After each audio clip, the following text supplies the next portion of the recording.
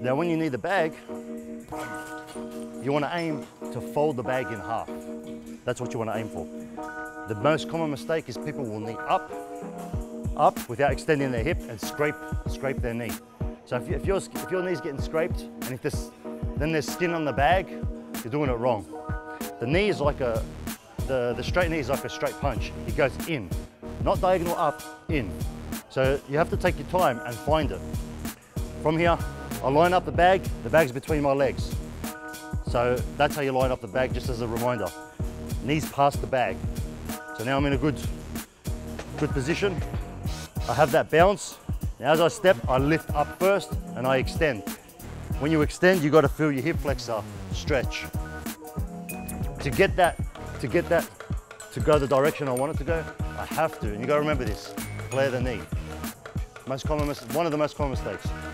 If your knee, eh, sorry, flare the shin. If your shin is uh, vertical, then it's almost guaranteed it's going to just slide, slide up. And in a fight, when, when there's oil, Thai boxing fight, or even sweat, it slips.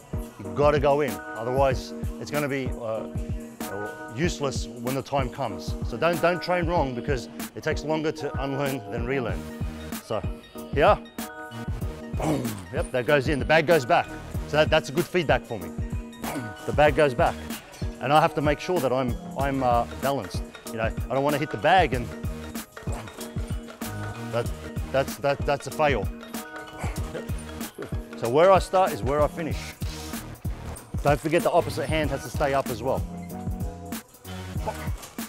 So I will do this for you know, a minimum of a minute rounds, back and forth. You add that into your, your workout. Very slow, just repetition, repetition.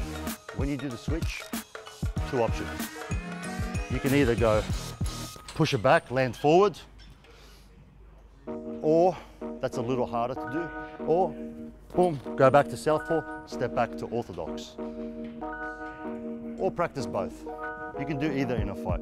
If the person's moving back, you can, you can fo fo follow through and land forward. If the person's on the rope, the opponent's on the rope and they're not moving back, you can knee, boom, you have to go back.